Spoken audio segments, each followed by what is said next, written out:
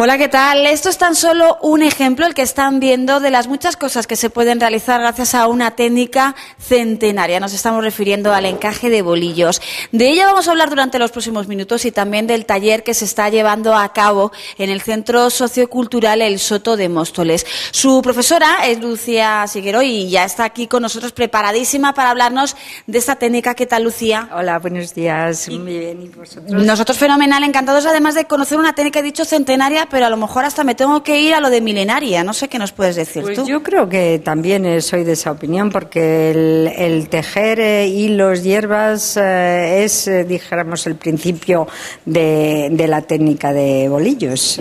Con palos o con hierbas o con hilos, pues ha ido evolucionando y ahora llegamos a estas labores tan bonitas. Precioso, además vamos a comprobar eh, muchos ejemplos porque, como decimos, se pueden hacer multitud de prendas gracias a esta técnica. Sí, desde luego. Yo creo que además ahora estamos evolucionando mucho en la, en la técnica en hacer cualquier cosa. Antes eh, la, visión que teníamos era de hacer puntillas con encaje, con los bolillos, pero ahora somos ya muy em, atrevidas y lo mismo hacemos sombreros, que hacemos chales, que hacemos eh, marcapáginas eh, o incluso, bueno, bufandas ya ni eso ya está como pasado de moda, pero ah, se hacen estructuras eh, yo tengo la idea de hacer, aquí hemos hecho pirámides.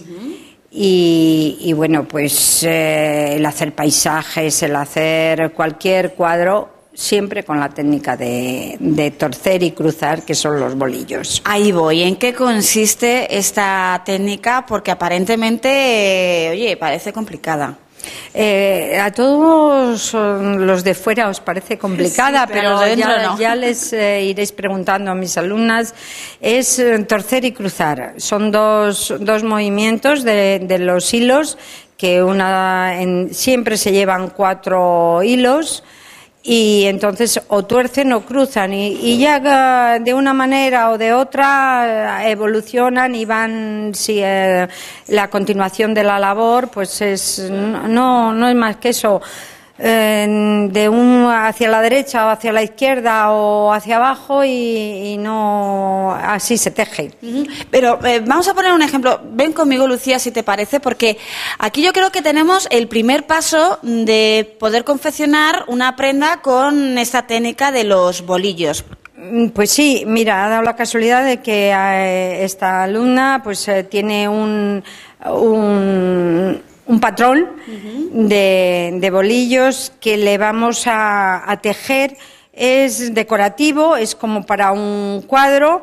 Eh, entonces vamos a, dar con, poquitos bolillos, vamos a, crear toda esa estructura que parece que es una flor y, y, una, y unas hojas. Entonces el primer paso es efectivamente es tener el patrón.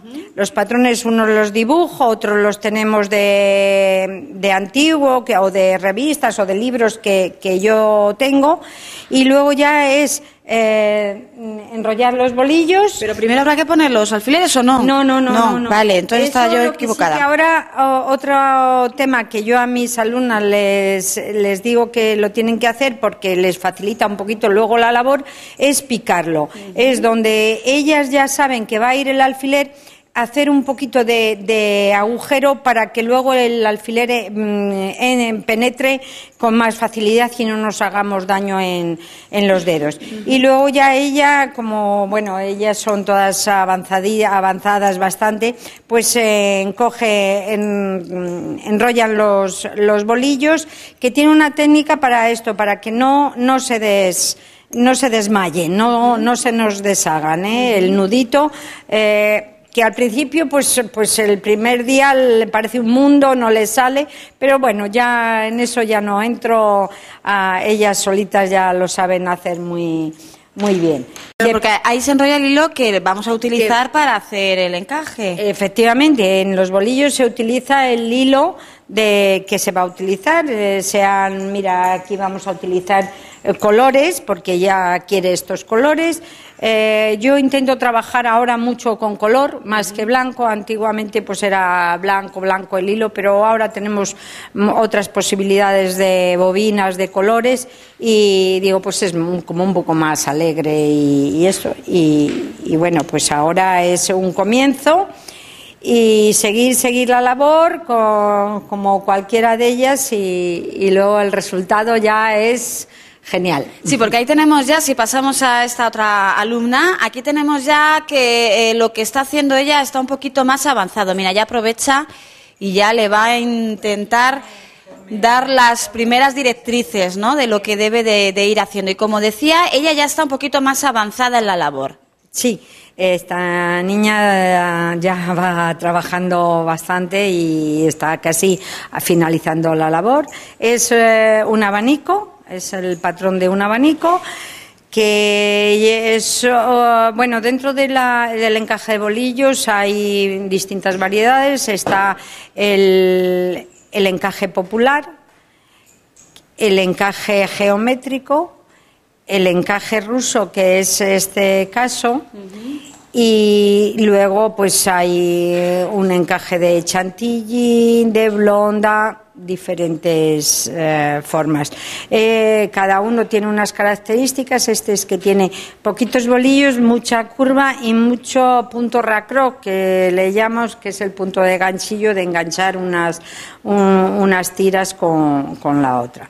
Pero bueno, ella es eh, el cuando se lo pongo dicen, ¡ay, qué difícil! Pero vamos, luego ya en cuanto lo cogen en las manos parece que, que ya lo, lo van entendiendo y les gusta. ¿El tipo de hilo que se utiliza es siempre el mismo o también hay una gran variedad? Hay mucha variedad. Ahora lo que lo mismo que te decía de antes de los colores, eh, ahora hay de todos los, los gruesos de, de, hilo y para cada labor necesitamos uno. No cabe duda que si es una cosa muy minuciosa, pues lleva un hilo más fino. Si son otras cosas como los chales, pues ya para que tengan un poquito más cuerpo necesitamos otros hilos un poquito más, más gruesos. Y de colores, lo mismo que te he dicho antes, pues ahora hay una variedad de, muy grande. Vamos a acercarnos aquí de nuevo a esta, esquina porque aquí encontramos más ejemplos de lo que podemos hacer. Bueno, a mí me ha encantado esto, es precioso. Toma, Es que no quiero, vamos casi ni tocarlo porque me da miedo de que se estropee. Qué bonito, este sombrero. Sí, Hay este más sobre la mesa además. Sí, este sombrero mm, yo tenía mm, en la hace muchos años la idea de que yo tenía que hacer un sombrero con, con bolillos y hace, el año pasado pues se lo propuse a, estas niñas y bueno ha salido esta obra. Eh, creo que es muy una llámale Pamela, muy de poner. No es estridente, pero es disfrutar de que se hace otra cosa con, los bolillos. Y bueno, tenía su, su dificultad, pero vamos, la, la han salvado casi todas. ¿eh?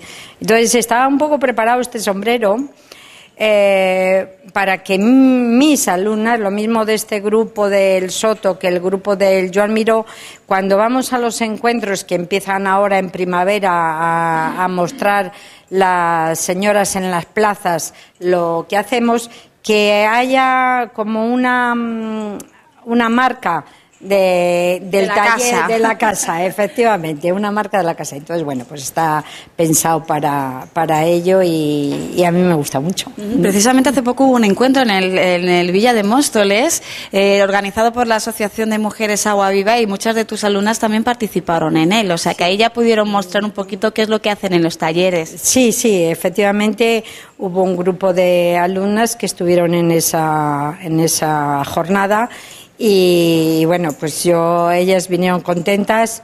Yo tenía otras cosas que hacer, no, tenía clase y cuando tienes que cumplir, pues eh, no puedes estar en, en, todas partes. Pero, pero bueno, yo creo que, que hay una muestra aquí de, del trabajo exquisito que quiero que, que hagan con los con los bolillos. Sí, vamos a, a venirnos, de nuevo seguimos avanzando porque aquí vamos a intentar quitar esta silla, aquí en esta caja, bueno, tenemos absolutamente de todo.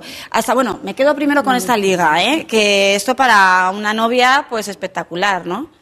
Pues sí, porque es de las cosas que casi primero las alumnas quieren hacer, una liga, no sabemos para qué, pero bueno, ya ves otro otro otro trabajo, ahora se lleva las novias llevan las ligas así muy muy floreadas y entonces bueno, pues creo que es muy bonito el que sea además una cosa artesana, hecho a mano por una persona que quieres porque siempre casi todos los trabajos que se hacen es para unas en personas en concreto que la tienes eh, adjudicado por el cariño, por la cercanía, por, por, un regalo que se hace con todo, con todo el, el, amor de, que puede salir de una persona.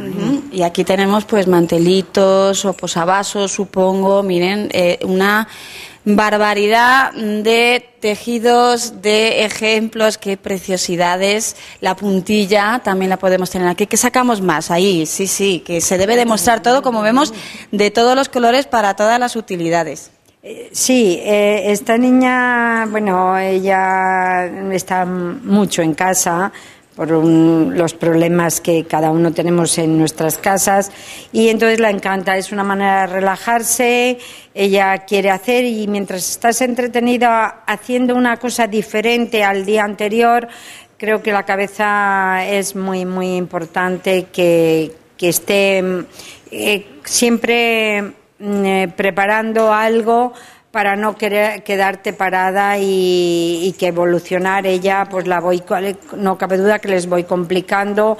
Empiezan con un inicio a lo mejor sería un inicio esto pero ella es la persona que ha hecho el chal. Entonces bueno ella se entretiene mucho siempre tiene que tener algo en algo haciendo, ¿verdad, Cristina? Pues ya que hablamos de ella, hacemos un inciso en esta entrevista con Lucía y hablamos con Cristina porque creo que, que todo esto es suyo, ¿no? O sea, que es una de las más prolíficas a la hora de, de hacer esto.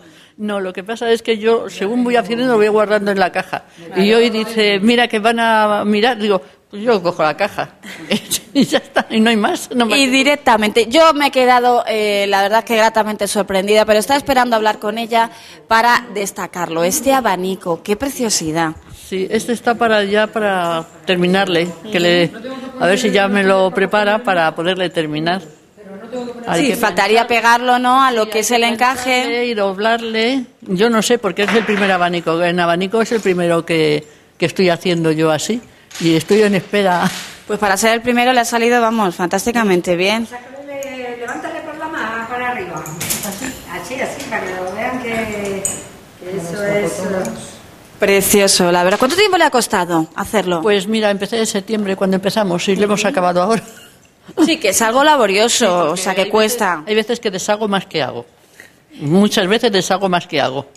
Oye, ¿Cuánto tiempo lleva haciendo encaje de bolillos? Yo con Lucía cuatro años, uh -huh. pero cuando tenía once ya empecé con los primeros pasos, pero luego ya con Lucía cuatro años. O sea, que eso ya le viene de familia. No, de, de, de niña, de una compañera de colegio, uh -huh. que empecé a cruzar los bolillos, lo que ha dicho, a cruzar y a enrollar los bolillos, lo dejé y luego ya pues empezó mi, mi compañera y amiga a venir aquí y luego ya me vine con ella. Y, pero vamos, yo no hacía esto, yo hacía pues una puntillina podía hacer, pero nada más. ¿Se sorprende incluso entonces ahora de lo que está